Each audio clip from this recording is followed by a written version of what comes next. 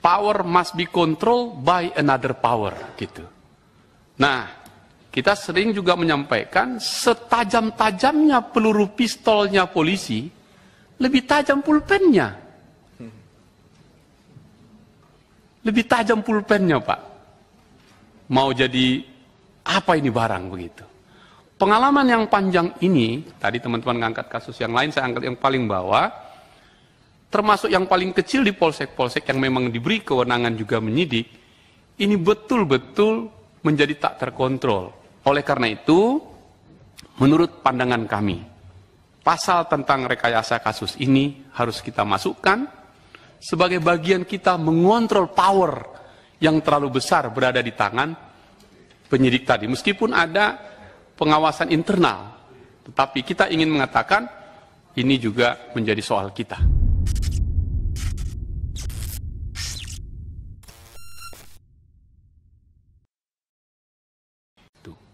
Sama dengan sahabat-sahabat saya tadi, Pak Wamen, pemerintah, saya ingin juga masuk beberapa hal untuk menjadi bagian diskusi kita nanti tanggal 21. Soal pasal tentang rekayasa kasus. Selain tadi sudah disampaikan oleh rekan-rekan yang terhormat, saya ingin menggarisbawahi rekayasa ini soal-soal yang kecil saja. Sebuah contoh yang ingin saya sampaikan ini menarik sekali dan menjadi berulang terjadi puluhan tahun. Apa itu? Di tempat-tempat dunia perkebunan, perkebunan, mereka biasanya punya namanya pamdal yang menangkap pencurian sawit, begitu. Oke, dikumpul dia periksa sendiri, di updelingnya, pindah lagi ke kantor pusat, selesai lengkap, diberkas, baru diantar ke Polresnya. Diserahkan di situ. Justru penyidiknya nggak pernah tahu apa yang terjadi di TKP itu. Dia cuma bawa flash disk kan, Pak? Dibawa flash disk, masuk, pindahkan di kop surat, sudah selesai di situ. Nah, begitu sudah mau selesai, pergilah dia ke truk tempat barang bukti tadi, sawit janjangan ini. Lalu dilihat, ini yang kau curi? Betul, tapi nggak sebanyak itu. Kami cuma ambil 20 janjang, dihitung kalau ini kenapa 75? Begitu.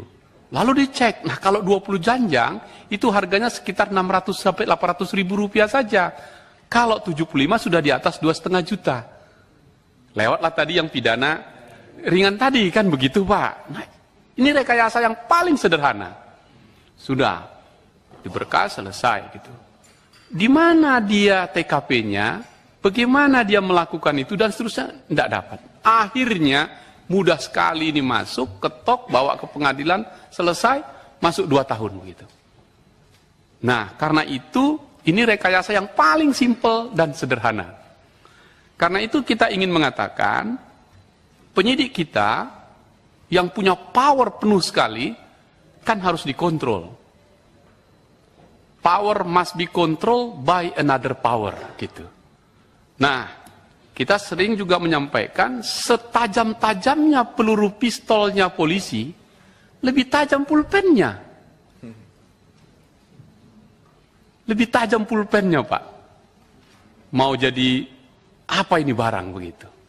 Pengalaman yang panjang ini, tadi teman-teman ngangkat kasus yang lain, saya angkat yang paling bawah, termasuk yang paling kecil di polsek-polsek yang memang diberi kewenangan juga menyidik, ini betul-betul menjadi tak terkontrol. Oleh karena itu, menurut pandangan kami, pasal tentang rekayasa kasus ini harus kita masukkan sebagai bagian kita mengontrol power yang terlalu besar berada di tangan penyidik tadi. Meskipun ada pengawasan internal, tetapi kita ingin mengatakan ini juga menjadi soal kita. Termasuk tadi yang disebut saudara saya, sahabat saya, eh, Bang Tobas, pabrikasi bukti-bukti. Contoh yang paling menarik misalnya, terbuka malah, bukan direkayasa. Ini kalau penyidik ada target dia di sak narkoba misalnya.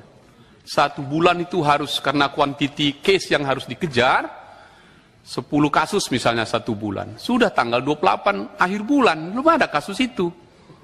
Terjadilah yang dibinjai itu kan. Dia naik sepeda motor, dia ambil itu barang bukti, tetangganya agak-agak dekat ke dapilnya Bang Jamil ini arah ke Aceh situ kan dilempar itu kecil. Ketangkap nah sudah kena dia di situ. Atau tadi dimasukkan di mobil dan jadi dan seterusnya. Ini telanjang mata yang terjadi kita hadapi di masyarakat. Karena itu eh, saya sepakat dengan sahabat-sahabat semua masih berkesempatan kita untuk menghentikan praktek seperti ini. Formula normanya kita bahas nanti di tanggal 21 atau 22